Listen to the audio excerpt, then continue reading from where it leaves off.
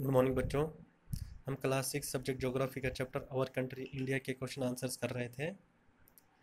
तो आज question one का last part G part Y is Lakshadweep Lakshadweep known as coral island जो लक्षद्वीप है, उसको कोरल आइलैंड क्यों बोला जाता है? आइलैंड मैंने आपको बच्चों पहले भी बोला था कि जो चारों तरफ़ क्या होता है कि चारों तरफ़ पानी होता है और बीच में ज़मीन का एक टुकड़ा होता है, उसको आइलैंड बोलते हैं। Lakshadweep islands are called the coral islands. Lakshadweep islands को कोरल आइलैंड्स बोला जाता है बिकॉज़ क्योंकि इसलिए they have been formed from corals क्योंकि वो किससे they have been formed from corals क्योंकि वो किससे बने हैं? कोरल्स से। अब कोरल्स क्या होते हैं बच्चों? Corals are formed from the skeletons of tiny marine animals called polyps जो कोरल्स होते हैं, वो जो जो छोटे छोटे जानवर पानी के जो जानवर होते हैं, जो छोटे छोटे जानवर होते हैं, उनकी जो हड्डियाँ होती हैं, उनकी जो, उनका जो ढांचा होता है स्केल्टन जिसे बोलते हैं, उसका जो ढांचा होता है, उनकी जो हड्डियाँ होती है, उससे क्या बना, उससे जो जो उससे उससे क्या बनता है? कोरल्स बनते हैं।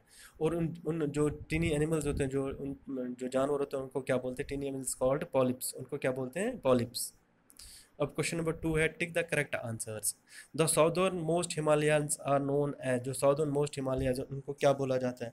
उनको बच्चों शिवालिक्स बोला जाता है। तो शिवालिक्स इसका करेक्ट आंसर है। शायद ridge is also known as. शायद रीज को और क्या बोला जाता है बच्चों? इसको यह अरावलिया अरावली वेस्टर्न घाट्स या हिमाद्री, इसको क्या बोला जाता है? वेस्टर्न घाट्स तो हम इस पर टिक लगाएँगे। तीसरा है, the Palk strait lies between the countries. जो पाल्क स्ट्रेट है, वो किन कंट्रीज़ के बीच में पड़ता है? इसके तीन ऑप्शन है, श्रीलंका एंड मालदीव्स, इंडियन श्रीलंका या इंडियन मालदीव इसका आंसर क्या है बच्चों? Sri Lanka and Maldives. The Indian island in the Arabian sea are known as. जो अरेबियन सी में इंडियन आइलैंड है, उसको क्या बोला जाता है? लक्षद्वीप आइलैंड्स। और लास्ट पार्ट है, इसका